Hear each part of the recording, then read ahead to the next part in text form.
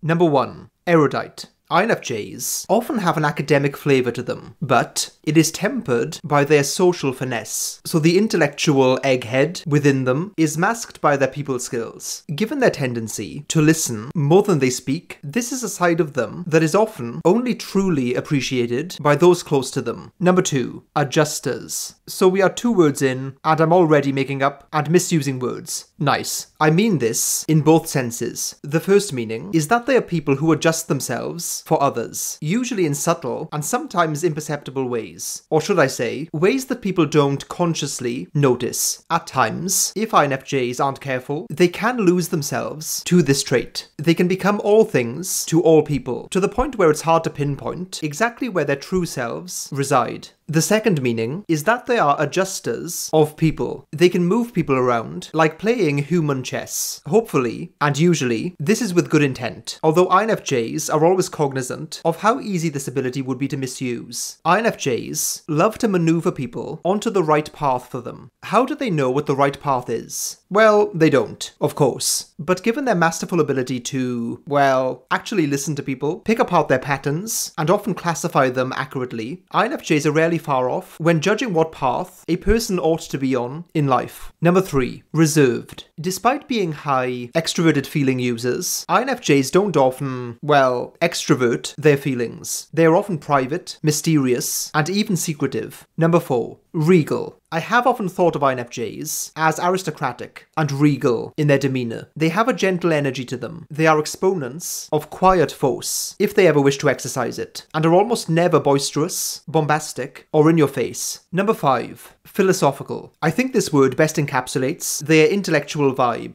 They are not purely scientific, or purely humanistic, or purely people focused. They're some kind of hybrid. The patterns they observe, ideas they analyze, and insights they have are conveyed, almost always, with a wise, philosophical delivery. Number 6. Abstract. The function of introverted intuition, and intuition in general, is largely about being able to look past the details and seeing that things of apparent uniqueness are actually different manifestations of the same concept in practice. It's about seeing the idea as more real than the tangible expression of the idea. Number 7. Symbolic. INFJs love themselves a bit of symbolism. For reasons related to the last word, it simply appeals to their natural way of thinking and viewing the world. They like things that are about the idea or concept primarily. They love hidden meanings, deeper references, metaphors, analogies, allegories, and symbolism. Number 8. Insightful. I mean this in the most literal sense of the phrase. INFJs will let things percolate in their mind and be struck by an insight when a connection gets formed. It's rarely as dramatic as a eureka moment, but on a smaller scale, it is comparable. Number 9. Affable. I was going to go with charming as a word, which is certainly applicable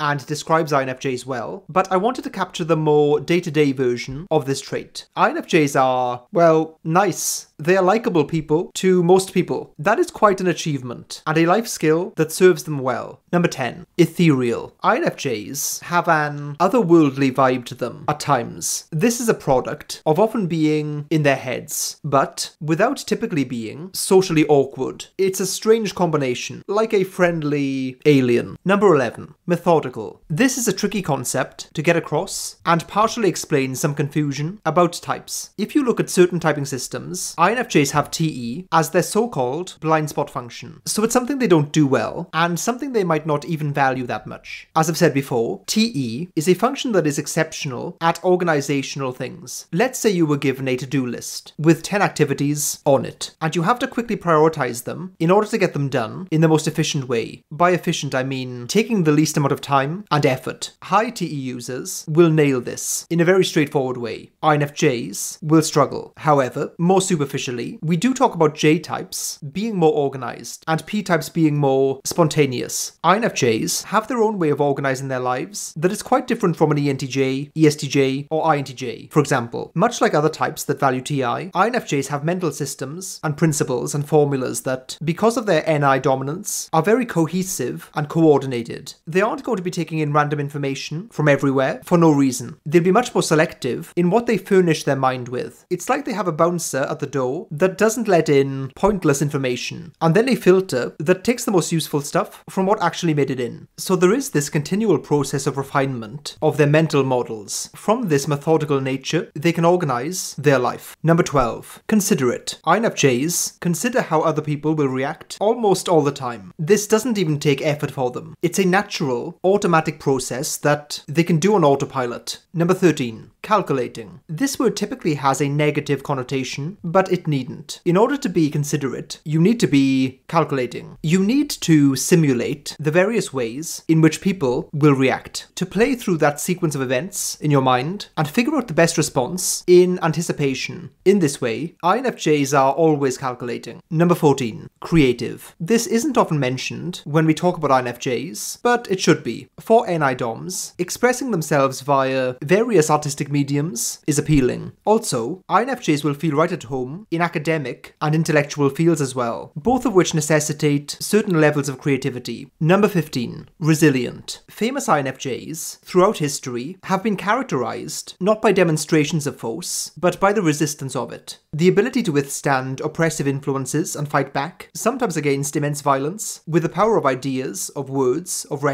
of gestures and actions that, by virtue of their symbolism, are magnified in their potency. Number 16. Equanimous. Equanimous. Equanimous? Equanimous, basically possessing equanimity. Again, against the stereotype of feeling types, INFJs are very emotionally calm and stable, as a general rule. They typically have a peaceful, balanced vibe. Number 17. Enriching. INFJs want to enrich the lives of the people around them, to guide them, advise them, listen to their concerns, offer wise words, and to pick whichever of their many intuitions and insights are the most applicable to solve the person in front of them's problem. Number 18. Measured. INFJs, like their INTJ brethren, are intentional people who rarely act without a reason behind it. There is a deliberate nature to them, an energy conserving and measured approach they have to life. Number 19. Non-judgmental. Without this trait, INFJs would not be effective with any of their investigations into human psychology. They need to be able to stare at all aspects of human nature, the light and dark alike, without recoil or judgment. Number 20. Meticulous. It feels like you have to say that word in a meticulous way. Is there a name for that? Although this trait won't show up, in every area of their life. Most INFJs will have something that they are perfectionistic and exacting about. If you want to see more INFJ videos, then subscribing is the best way to let me know that. Also, if you would like to chat with me and people of many other types, then join me on the Love Who Discord server. The link for that is down below.